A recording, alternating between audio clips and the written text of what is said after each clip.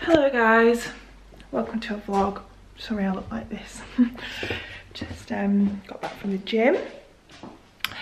And this is the vlog that is contains a sponsorship with Organic Basics. Um, I'm just going to talk about the first piece now because it's some gym leggings that I've just worn at the gym. I've started seeing a personal trainer again, a new one, because my um, old friend, she had a baby. She's very lovely. So I have a new one. Um, oh gosh, can't walk. Um, who is really good, but it's hard. It's like after, because normally what I do in the gym or what I have always done is weight training stuff. And obviously all through this year, I don't have a fully kitted, stocked out gym at home. Um, so I haven't been doing anything that's like considerable weight lifting. Not that I'm that strong at all, but going back to it, it is killing me. Anyway, I'm just going to show you these leggings. So I did talk about organic basics quite a bit when I did testing basics because I bought an underwear set from them and featured them in that video and the thing the thing they need to be most understood for is that they are a brand taking sustainability so incredibly seriously.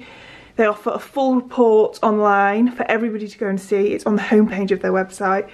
They even offer a website which um, is like a low emissions website. So you get drawings of the um, products instead of photos so that the way that the data is being used is also more sustainable. So there are many levels to how they are tackling the issue of sustainability, which is definitely the way brands need to be doing it. So I'm really excited to be working with them. They're primarily a brand that stock underwear, loungewear, gym wear. Um, I've already talked about their underwear, like I said, I will link that testing basics. I don't want to repeat myself too much because we did talk about it such a lot in that video. So I'll link that video in the description box. Um, and for now, talk about other pieces a little bit more, like these gym leggings. Um, so the only criticism I have of these is that they're a tiny bit short for me. Um, as you can see, I mean, I always tend to wear long socks at the gym. I'm really not a stylish gym goer most of the time. Um, but if I pull my socks down a bit, you can see that they're quite, um, quite a bit shorter than other leggings might be. So bear in mind I'm five foot eight and more, all, all, of my heights in my legs, I'm normally like a leg 32. So for lots of people this won't be an issue at all, but I did want to point it out for us taller ladies. Um, but they are so, so, so flattering. They just have a really nice waistband here with really subtle branding. I'm not a fan, as you can imagine, of leggings with everything going all over down the legs. Just want really, really plain ones. So the this has a really nice subtle bit of branding there. Um, it's got like a ribbed effect down the side. You can see a bit better if I do this just down one side here and then it's just plain in the middle. Um, and they're really really nice. They're not see-through or anything. I've just been doing all sorts of squatting and things and they're not see-through. Um, and yeah they're just really really flattering. They're not too high-waisted. Here I've just got a sports bra on so you can kind of see how much how much torso is on show in between there. Um, but yeah, I've been worked out in them and they're really comfortable. I feel like actually for leggings you need to exercise in them before you can comment on them.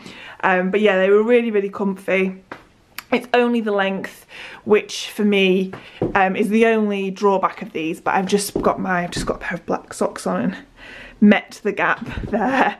Um, but for other people as well, you might not be bothered about the length of your leggings in that way and for most people, people of average height, definitely wouldn't be an issue at all but I did want to mention it. Um, so these are the leggings. I'm actually going to take them off now because I'm going to have a shower um, and make myself a coffee. I'm really tired. Um, and then check in with you later. I went to Boots yesterday and spent £85 in Boots. I was fuming. So I'm going to show you what I bought. I did buy like quite a few bits of Avène skincare, so that is why. But 85 pounds in boots, not happy. Right, I'm clean and showered. Well, I didn't wash my hair. As you can tell, I'm going to have to do something with my fringe, which is very weird. Um, yeah, so boots. I bought some Oh dear, what, what, what's happening? I bought a new body lotion. I like ones with no fragrance. The only one that I do like with fragrance is the L'Occitane one. Uh, but I just got this Embryolisse one. Um, so that was the first thing. And then I bought a face wash. My old favourite again. I was sent this one by CeraVe, which is the cream to foam cleanser but I don't really like it. It just feels a bit too harsh for my skin with it being foamy and I don't like how it leaves my skin feeling. So I've gone back to my favourite one from La Roche-Posay. Um, I also bought a new face mask from Avène, the Redness Relief Soothing Mask, which I love and just my skin really responds well to. And also a moisturiser from them again, um, which has SPF 30 in it. I've been using my Embryolisse moisturiser then with the SPF over it um, which was fine, but I just kind of, it's nice having it all together sometimes. Um, my next door neighbour who has her TV so loud is taking it to new levels. So I bought, bought two packs of earplugs for on the evenings where she has to watch the news at 11 p.m. at just earth-shattering volumes. I bought those and I bought some hand sanitizer I bought some toothpaste and that came to 86 pounds which obviously I guess all of those like French beauty brands like 15, 20 quid a pop, but bloody hell. Anyway, at least I've got a good stock up now for, for the next few months. And I'm actually gonna give my face a good wash, then get dressed and then have something to eat for lunch and stuff. So my all-time favourite comfort food is toast and toast with different flavours. So I've just got butter, which I start with my entry, entry level toast, and then Marmite, which I have as my savoury toast, and then I wanted marmalade, but I just opened it and it was mouldy, so I've got honey instead.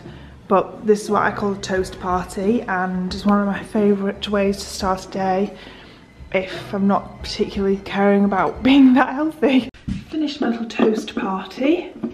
just gonna get ready to go out to the shops. Simon's coming over for dinner. I've got a cookbook called The Essentials of Italian Cooking and I'm going to make an Italian feast as best I can. So I'm going to go to the shops next and I need to be presentable. Um, because some of you might notice I haven't got my big black signet ring on. I have the tiniest cut on my finger there and it's exactly where the ring ends. So it was just driving me mental. So I've taken it off. It took me, I had to take it off with like loads of hand cream because it's so tight. Um, but I actually quite like how it looks having less on my hands. I'm quite enjoying that. Um, I bought this concealer the other day because I needed a new one. I am just on the never-ending quest for a favourite concealer. I think I find it, like I used to love the Glossier one and then it just now doesn't work for me. This one's by Becca called the Aqua Luminous Perfecting Concealer. I just bought it at Space NK. Um, not much to say about it really. It's fine. It's not the one. um, should I just dribble it down? No. So yeah, I'm gonna have the day cooking. I've nearly finished a book that I've really been enjoying called Love and Other Thought Experiments. I want to say the author's name is Sophie Ward, but I might be wrong.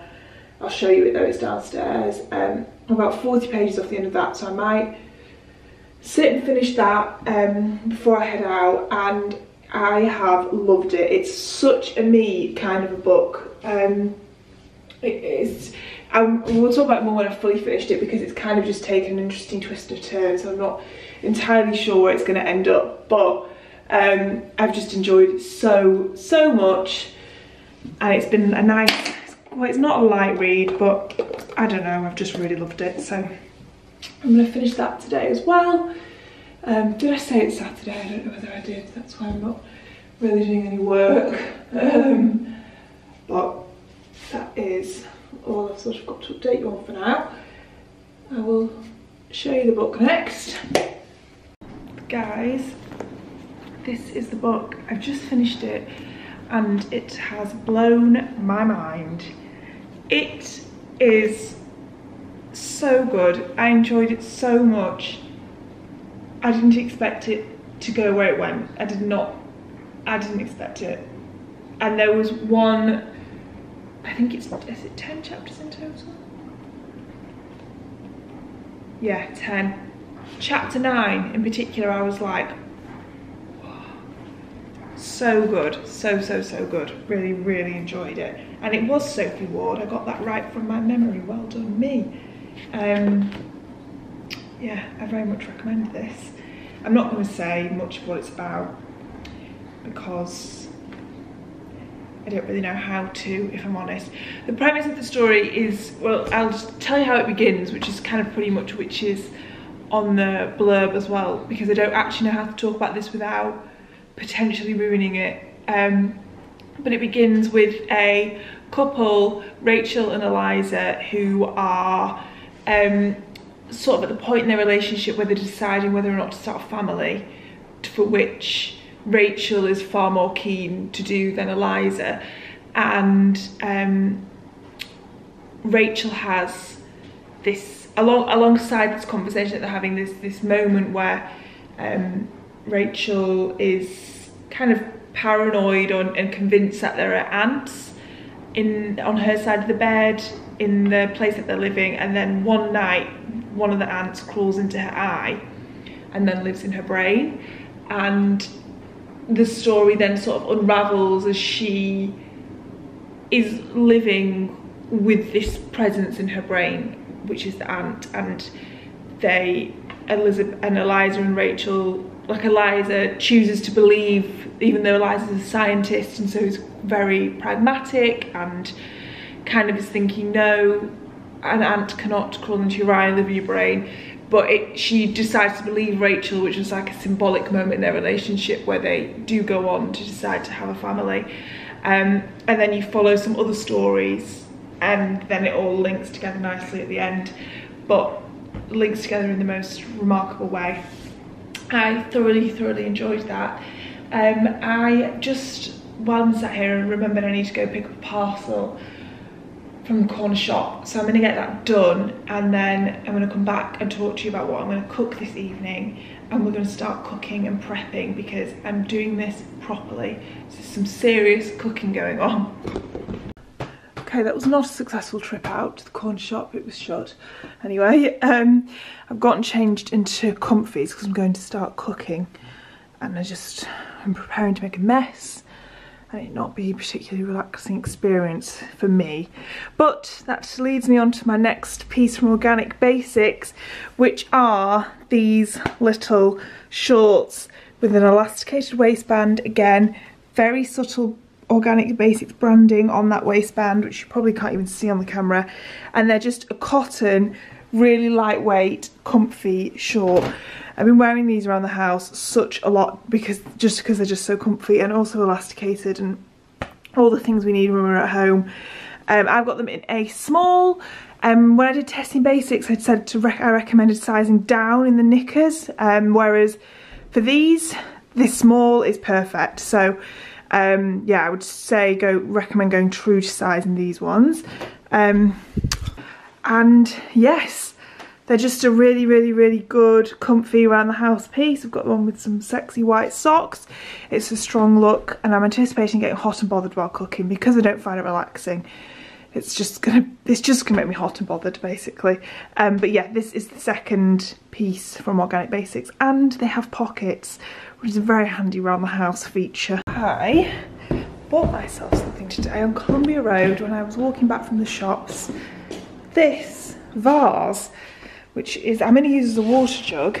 It's called a glugging vase, and apparently when you pour water out of it, it goes glug, glug, glug, glug, glug, which is why it's called that. Just saw it on a nice shop on there and thought, God, that's awful, I love it. It really is awful, isn't it? It's so ugly, but I really like it.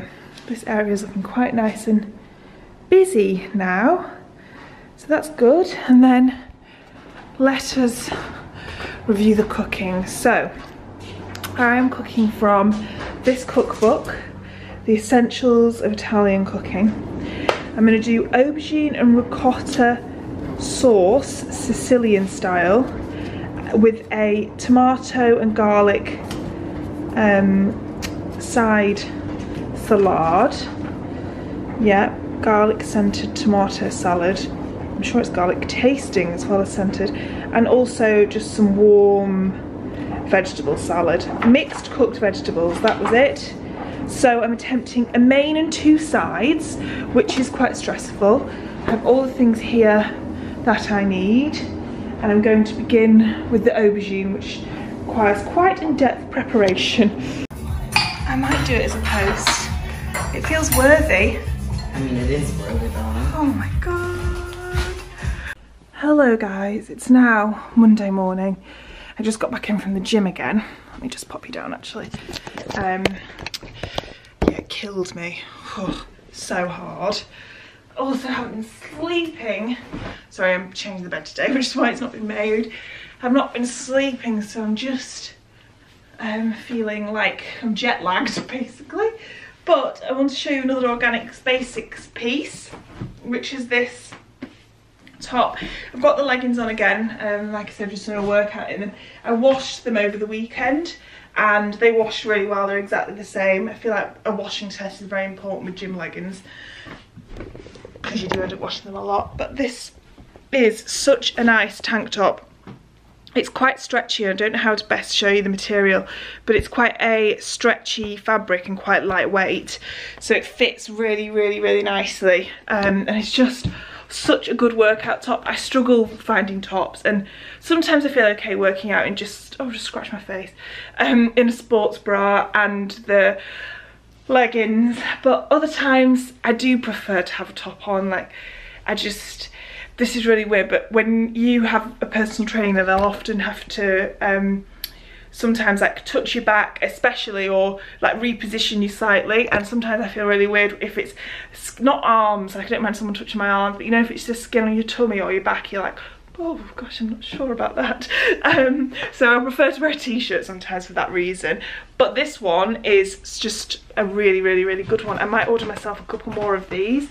Um, as I'm going to try and keep working out way more consistently than I have been for most of this year.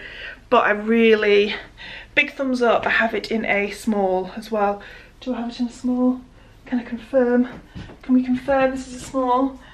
Oh, it is a small, confirmed it's a small. And yeah, I'm just going to jump in the shower. Lindsay and I are recording a podcast episode. Um, I've got like 20 minutes to get myself sorted, so I must dash and do all of that.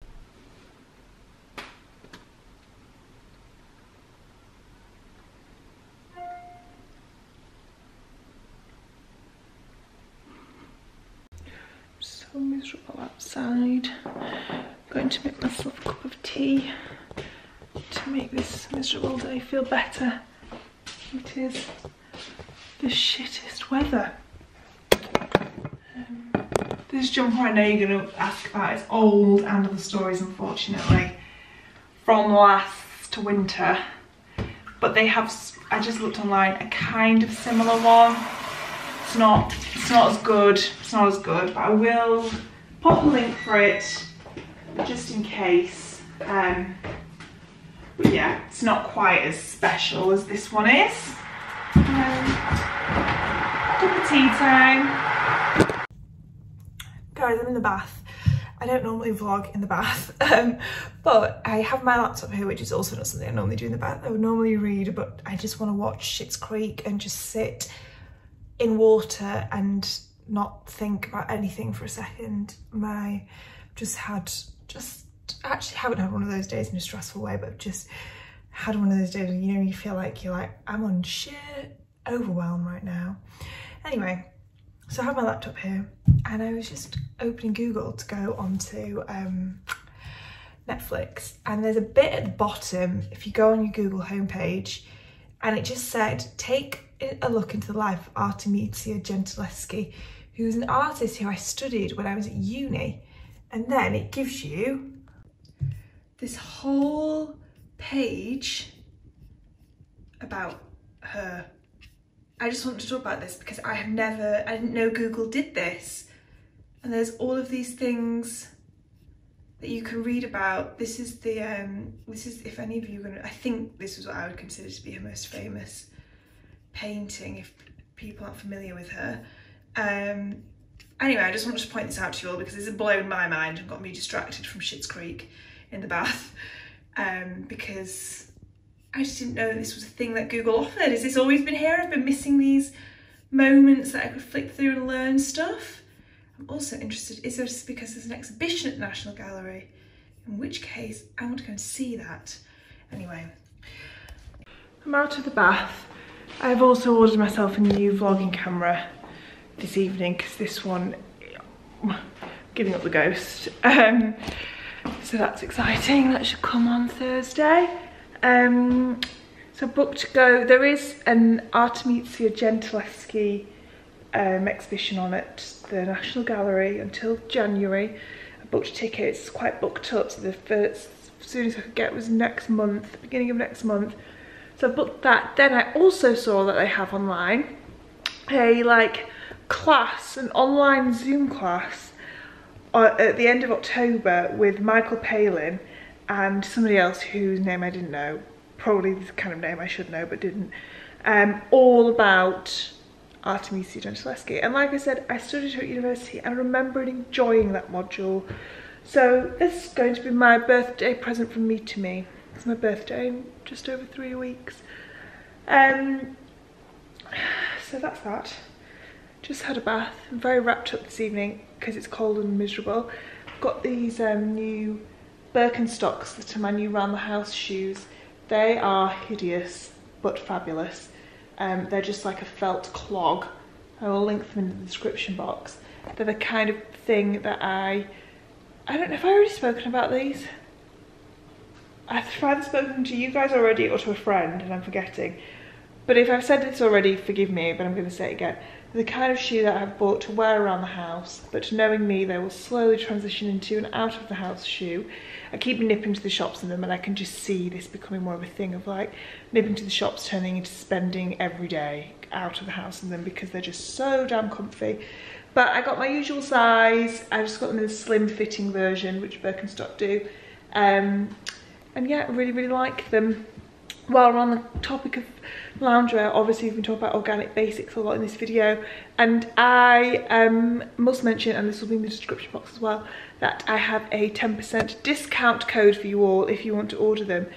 Um, and I do really recommend the underwear. I haven't shown you it in this video, but I will link testing basics and I will also link the underwear that I'm referring to in the description box.